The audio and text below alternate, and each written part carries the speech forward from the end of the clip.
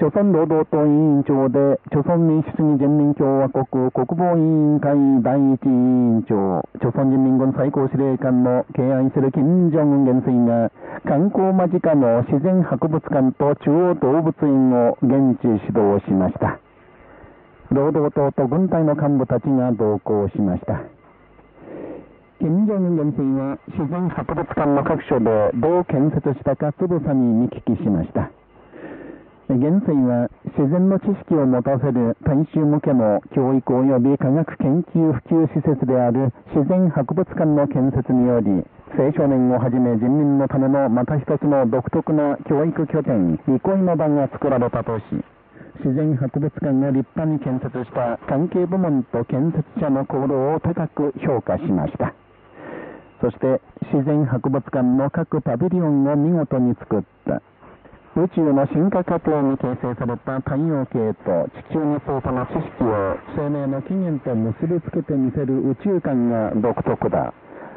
生物系の進化過程を見せる各パビリオンに各種標本と学術資料をいろいろな方法で展示しているが、参観者に自然についての正しい理解と幅広い知識を与えるだろう。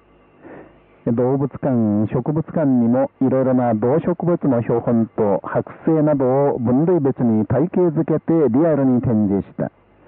自然博物館はこれから青少年と勤労者の教育はもとより科学研究にも大いに役立つだろう。こう述べ、科学性、実用性、親切さの原則にのっとって自然博物館をもっと立派に作るための課題を示しました。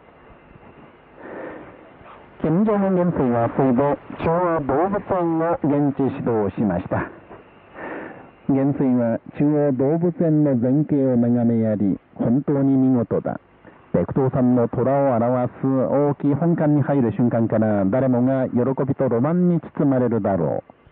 建設者の奮闘により全てが困難な中にも人民に立派な文化環境を保障しようとの労働との意図が見事に実現したとし大きな満足の意を表しました。金正恩元帥は遠くから見ても、あれが何の動物小屋であるかすぐわかるよう、ビジュアルに造形芸術的に設計し施工した動物小屋は、外部だけでなく内部もそれぞれの動物の生息地に入ったような感じがするよう完璧に作られたと述べました。また、大きな亀が頭をもたげる姿を表した爬虫類館を見て、本当にユニークな作りだとし、猿、象、キリン、子馬の各小屋を見て、四季を問わず参観者が来て笑いの花を咲かせるようになったと述べました。そして新築の猛獣小屋を見て、小屋の正面を硬質ガラスで貼ったので、前より見た目が良い、本当によくやったと評価しました。元帥は中央動物園が開園すれば人民の幸福と喜びはこの上なく大きく世界の文明のトップに堂々と立っている誇りで胸がいっぱいになるだろう。手間をかけて新しく作った会員があると喜びに満ちて述べました。金正恩元帥は自然博物館と中央動物園に来てみれば、父の著存の底知れない力と文明の何たるかがはっきりわかるだろうとし、関係部門の建設者、従業員が工事の締めくくりを良くし、管理運営の準備を手抜かりなく整える課題を示しました。朝鮮労働党と人民の最高指導者である敬愛する金正恩元帥が、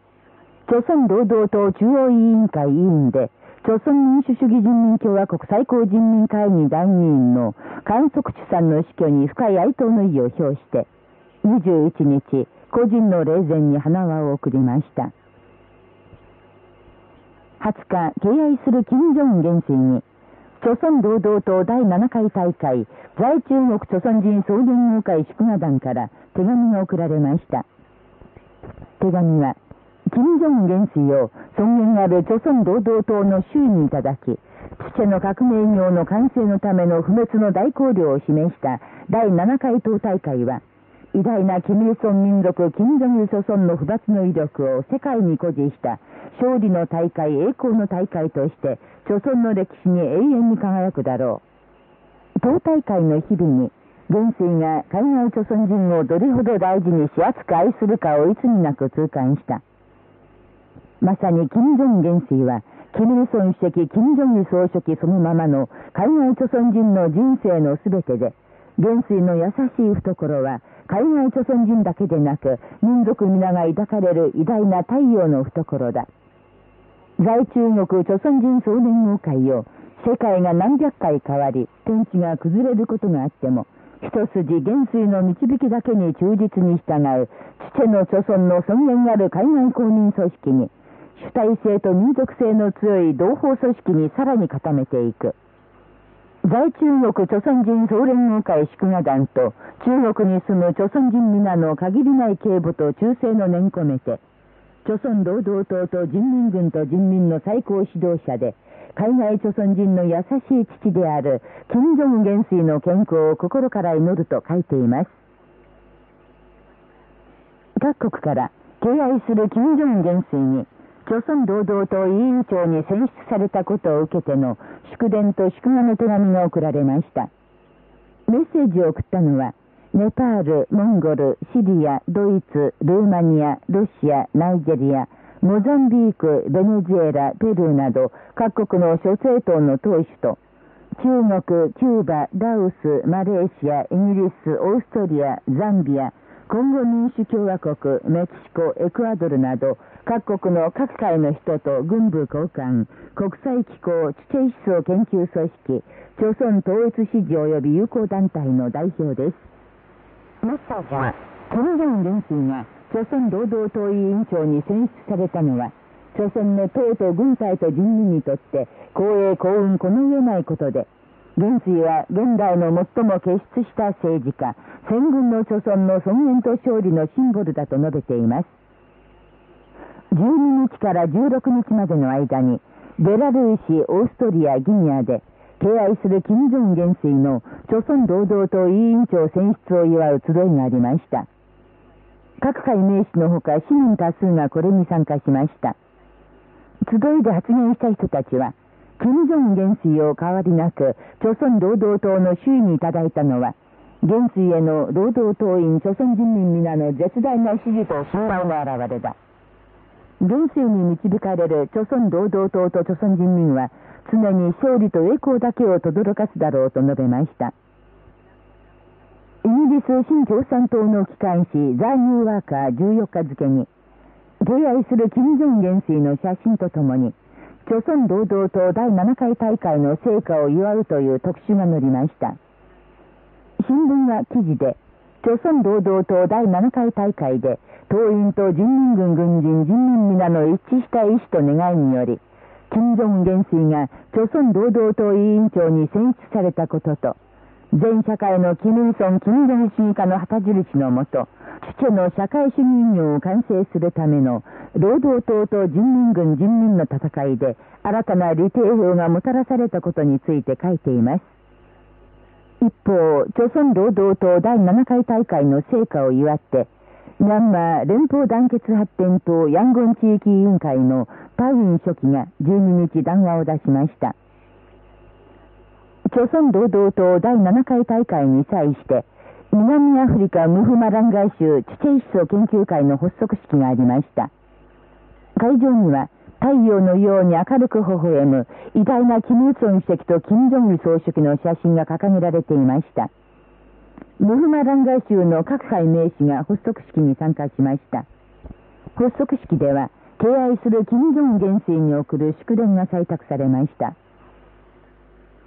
朝鮮民主主義人民共和国最高人民会議常任委員会、キム・ヨンナム委員長が20日、首都ナラボのシポポ国際会議場で行われた赤道ギニア共和国大統領就任式に出席しました。